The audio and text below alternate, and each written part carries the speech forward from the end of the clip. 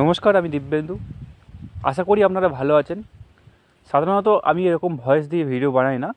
এই ভিডিওটা বানাচ্ছি, তার পেছনে একটি উদ্দেশ্য আছে এবং ছোট্ট একটি ইনফরমেশান আপনাদের সঙ্গে শেয়ার করব এই ভিডিওর মধ্যে।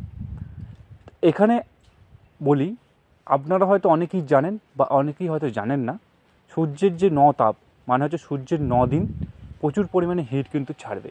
এই হিট ছাড়ার কারণ মেন হলো সূর্য কিন্তু রোহিণী নক্ষত্রে অবস্থান করবে। আর এই রোহিণী নক্ষত্রে অবস্থান করার জন্য প্রচুর পরিমাণে তাপপ্রবাহ বা প্রচুর পরিমাণে হিট কিন্তু পৃথিবীর মধ্যে হবে। সেই হিট থেকে মানুষরা তো বাঁচতে পারবে, অর্থাৎ মানুষরা গাছের ছায়াতে হোক এসি ঘরেতে হোক বা ঘরের মধ্যে হোক, বাইরে না বেরিয়ে প্রচুর পরিমাণে জল খেয়ে চান করে, তারা কিন্তু মানুষ কিন্তু বাঁচতে পারবে। কিন্তু আমাদের যে জীবজন্তুগুলো আছে, অর্থাৎ ছোটো ছোটো পাখি, পশু, কুকুর, বিড়াল, এরা কিন্তু এই তাপপ্রবাহ থেকে কিন্তু বাঁচতে পারবে না। অর্থাৎ বেশিরভাগটাই হলো যেটা ছোট পাখি, সেই পাখিগুলো কিন্তু এতটা পরিমাণ হিট কিন্তু সহ্য করতে পারবে না। তাই আমরা পৃথিবীর শ্রেষ্ঠ জীব, আর এই শ্রেষ্ঠ জীব হিসেবে আমাদেরও কিন্তু একটু দায়িত্ব বা কর্তব্য পরিবেশের জন্য কিন্তু থাকা উচিত।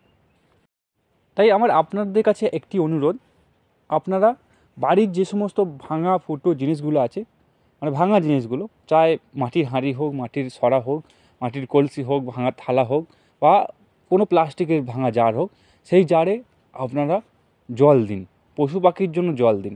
বাড়ির ছাদে বা বাড়ির বাগানে বা বাড়ির উঠানে এবং বাড়ির দৌড়ে তো আপনারা কিন্তু জল দিন।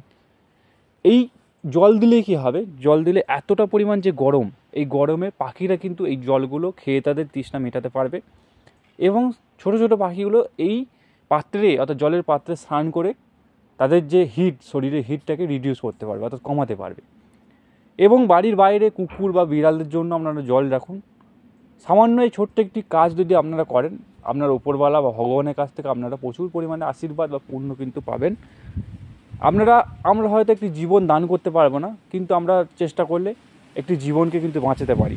তাই আপনারা চেষ্টা করুন আপনাদের বাড়ির ছাদে বা বাগানে বা বাড়ির বাইরে সমস্ত জায়গাতে পাত্রে পাত্রে করলে জল রাখুন। আর যদি সম্ভব হয় কিছু পরিমাণে দানা জাতীয় খাবার পাখিদের জন্য রাখুন। তো আশা করি সবাই এই কাজটি করার চেষ্টা করবেন। ভালো থাকবেন, সুস্থ থাকবেন। ভিডিওটা বন্ধুদের মাঝে শেয়ার করবেন।